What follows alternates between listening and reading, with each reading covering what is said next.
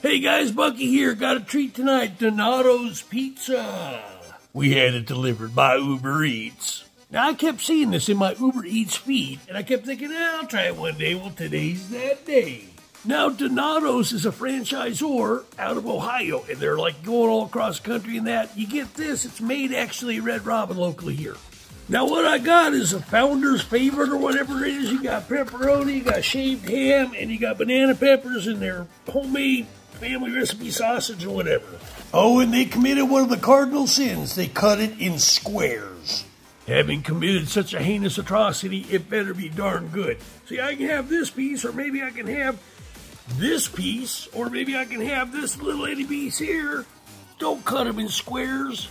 Someone choose the most normal of them. All right, it's pizza, so it's getting the thumbs up. It has to. It's a recommend.